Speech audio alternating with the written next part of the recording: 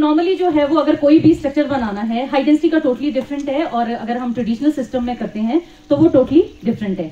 तो जनरली जब हम वे प्लांट लगाते हैं दो से ढाई फीट के बीच में जो है वो एक स्लांटिंग कट लगा दिया।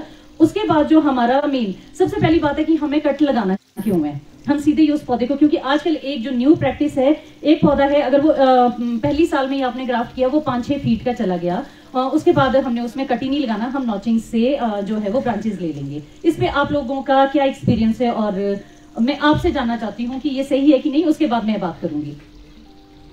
क्योंकि ये है प्रैक्टिस इसीलिए बोलूँ क्योंकि जो हम फ़ील्ड में देखते हैं, हम वही चीज़ें करते हैं।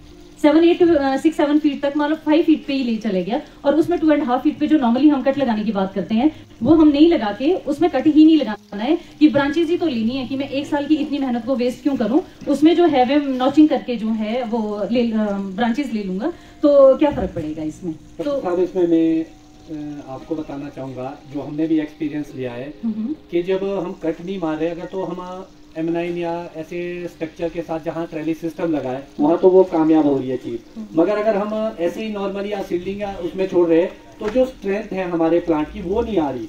और उसके बाद उसमें ग्रोथ चेक होने की प्रॉब्लम आ रही है जिसके बाद उसमें स्केल की प्रॉब्लम आ रही है या दूसरी अन्य प्रॉब्लम हमें हमने भी ये पाया कि अगर फ़र्स्ट ईयर में कट देना है ना जी वो ज़्यादा बेहतर है क्योंकि स्टेप में और ऊपर में एक बैलेंस आता है जी। जो हमने फिर बाकी तो आप लोग विषय विशेषज्ञ है मगर जो हमने फील किया है मैं भी कभी नहीं मानता हूँ कि हमें फ्री छोड़ना चाहिए। हाँ पर M9 में आज हाँ, आज की डेट में ये प्रैक्टिस है कि इतना बड़ा हो गया क्योंकि जैसे हाई डेंसिटी का कंसेप्ट आया हमें कहीं ना कहीं हाई डेंसिटी और ट्रेडिशनल को अलग करना चाहिए।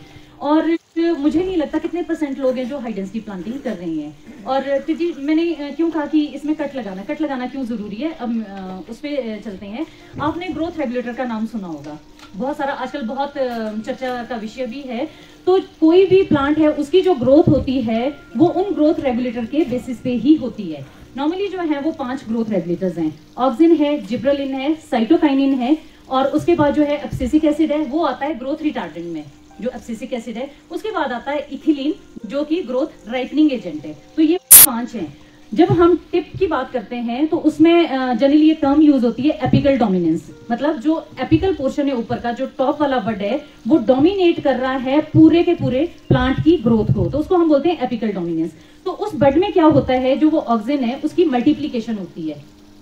उस टिप में जो है वो मल्टीप्लीकेशन या जितनी भी टिप ब्रांचेस भी निकली हैं तो क्या होता है कि उसका हर एक ग्रोथ रेगुलेटर का अलग अलग काम है। जब वो टिप में और इनका होता है कि मूवमेंट कैसी है, जैसे फॉर एग्ज़ाम्पल साइटोकानी है, वो रूट टिप में उसकी मल्टीप्लीकेशन होती है। और ये जहाँ प्रोड्यूस होते हैं ये वहाँ काम ना करके इनका साइट ऑफ़ एक्शन दूसरी तरफ़ को होता है। तो इसकी होती है बेसिपिटल मूवमेंट ये टिप में प्रोड्यूस हुआ नीचे की तरफ़ ब्रांचेज में चलेगा और ये, क्या करेगा जो आपकी ब्रांचेज निकलनी है उनको इनहिबिट करता है। उनको ये बनने नहीं देता है। इसलिए आपने देखना जब भी आप कट लगाते हैं जहाँ आप कट लगाएँगे जो पहला बड होगा सबसे पहले वही जो है वो प्रोड्यूस होगा। और ये कट लगाना क्यों ज़रूरी है? एक पौधे की स्ट्रेंथ को बनाना और प्रॉपर स्ट्रक्चर बनाना। पहले ही साल में जो वो छह फीट पे चला गया और आपने मतलब उसकी जो एक ग्रोथ है, आपने टोटली उसको डिस्टर्ब कर दिया। तो कहीं ना कहीं जो है वो बहुत ज़्यादा ज़रूरी है कि पहले टू एंड हाफ़ फीट पे आपने कट लगाया। उसके बाद जो आपका फ़र्स्ट बर्थडे सबसे पहले वो स्प्राउट होगा, उसको हम लेंगे एज ए लीडर और उसके बाद जो उसके नीचे के तीन चार बर्ड हैं, वो स्प्राउट होंगे। और ऐसा नहीं है जैसे ही हमारी इच्छा होगी कि चारों तरफ़ को निकले, नहीं निकलेंगे। कभी दो भी निकलेंगे, एक साइड को भी निकलेंगे। उसमें जो है जितने भी साल निकले हैं, उसके बाद उनकी स्प्रेडिंग ज़रूरी है कि स्प्रेड करना है। और बेंडिंग नहीं करनी है सीडलिंग रूट स्टॉक में जस्ट स्प्रेड करना है क्रॉच एंगल बनाने के लिए। बाकी उसका कोई पर्पज नहीं है उसमें। आपने जब उसको स्प्रेड कर दिया, उसके बाद जो लेटरल्स निकलेंगे, उनकी भी जो है वो प्रूनिंग होती है। फ़र्स्ट फ़र्स्ट ईयर में लगाया, ढाई फीट पे काटा, उसके बाद जो ब्रांचेस निकली, जो नेक्स्ट ईयर की प्रूनिंग होगी, उसमें वो क्या करेंगे? सारी ब्रांचेस हैं उनके टॉप भी काटेंगे और जितने लेटरल्स होंगे, उनको भी काट देंगे और सारे के सारे वो एक डंडे की तरह खड़े हो जाते हैं। मुझे लगता है कि सबने देखा होगा ये चीज़।